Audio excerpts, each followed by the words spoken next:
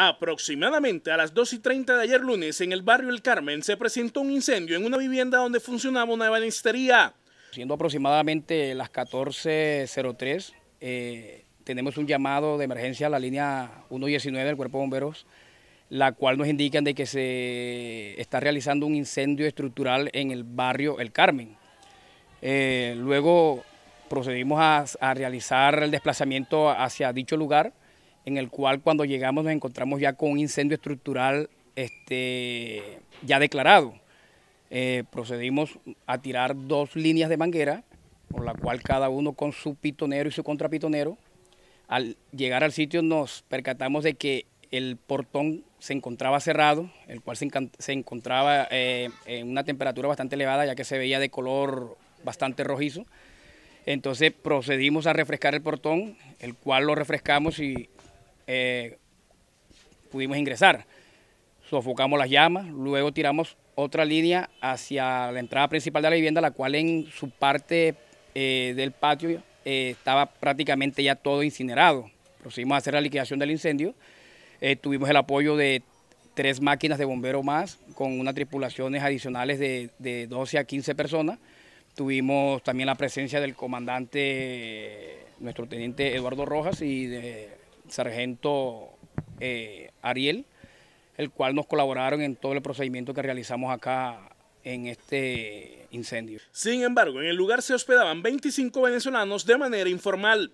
Hoy los afectados reclaman y exigen que se les responda por lo que se les quemó y perdieron en esta conflagración. Le cuento que en verdad estamos todos afectados acá, inclusive porque hay niños y es preocupante. Lo que pasó ayer en realidad fue una injusticia para nosotros, porque vivimos en una parte donde era de tablas y de plástico y se encendió, no sabemos si fue provocado o si hubo un cortocircuito, no se sabe, pero lo único que sí le digo es que perdimos muchas cosas, perdimos documentos, perdimos ropa, perdimos mercancía de nuestros hijos que están en Venezuela pasando hambre.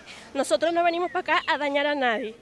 Estamos aquí para ayudar a nuestros hijos, todos los que están aquí, que son, todos, viven, todos viven en la misma residencia. El vecino nos tiró para la calle, no nos dieron colchoneta, tuvimos que pelear por la comida, dormimos todos aquí, no es, no es justo pues. Somos venezolanos, que hay gente que de repente no, no, nos quiere porque hay otra gente que viene a hacer daño, pero nosotros no somos así. Todas las personas no pensamos iguales. Lo único que nosotros queremos es que nos brinden una ayuda en realidad, porque esto que está pasando es injusto. Hay una niña de cinco meses, llora por tetero, no hay plata, o sea, es, injusto, no me parece bien, pues, es lo que yo opino.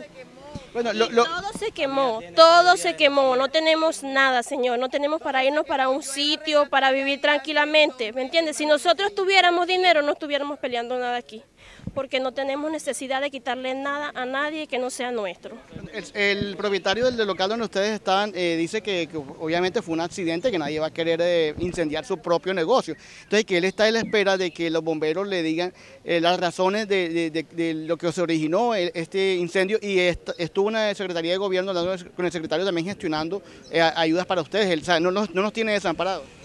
No, pues sí, pero él se ha portado muy mal con nosotros. Él puede decir, él puede decir su versión, pero la versión de nosotros es la que vale porque somos los que estamos en la calle. Él durmió tranquilo en su cama, con aire, con, con todo. ¿Sí me entiende? Los afectados somos nosotros.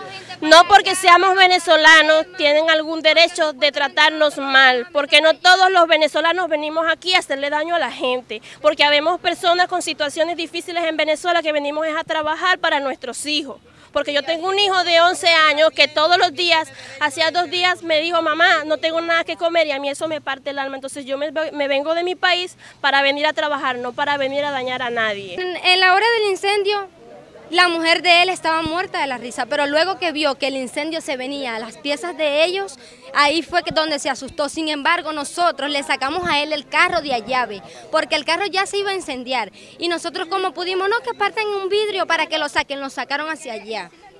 Pero eso no es así, porque él nos ha tratado peor, que le debemos que esto. Ayer nos cobró hasta la pieza de ayer, que ni siquiera la habíamos dormido la noche de ayer. ¿Cómo si eso se había incendiado en la mañana? El propietario desvirtúa las versiones y manifiesta que a pesar de hospedar de manera informal a los venezolanos, estaba obrando de buena fe. Sí, se perdieron el 100% de las cosas que se habían construido para, para tener los muchachos aquí y parte y todo el taller prácticamente se quemó. Eh, ellos exigen que, como se les quemó la ropa, que les dé lo que quedó de chatarra, que ellos lo venden y con eso ellos solucionan algo. Y yo estoy de acuerdo que sí, que puede ser así. ¿Con qué se llegó a ese acuerdo? Eh, con el objetivo de que ellos no, no estén molestando por la ropa que se les quemó, que como ahora tienen es pura ropa de marca, el uno perdió 300 mil, el otro 400 mil en ropa, después de no tener 6 mil pesos que pagaban para, unos pagan 6 mil, otros 8 mil, según la persona, según como, como estuviera la habitación de, organizada, así pagaba la persona. Había uno que pagaba 6 mil pesos y es el que más brinca y es el que menos pagaba porque tiene una deuda ahí que no la pagó. Se va a hacer un acta donde ellos van a firmar de que con eso ya no van a molestar más a seguir pidiendo de que ayudas, porque según ellos hay que ayudarle, pedirle a la alcaldía, pedirle a la gobernación, pedirle porque es obligación. Entonces ellos dicen que con eso ellos se, se organizan y se van y siguen para adelante.